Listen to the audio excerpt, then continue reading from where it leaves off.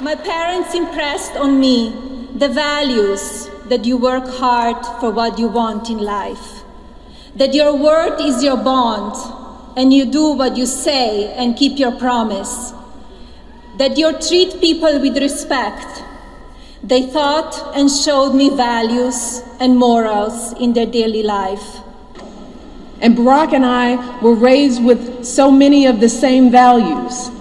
Like, you work hard for what you want in life, that your word is your bond, that you do what you say you're going to do, that you treat people with dignity and respect, even if you don't know them and even if you don't agree with them.